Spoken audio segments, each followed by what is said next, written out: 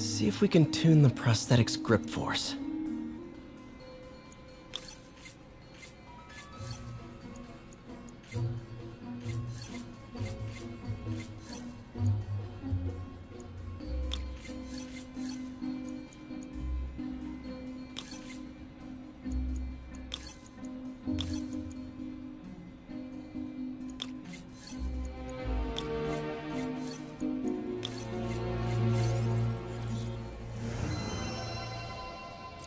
That's better.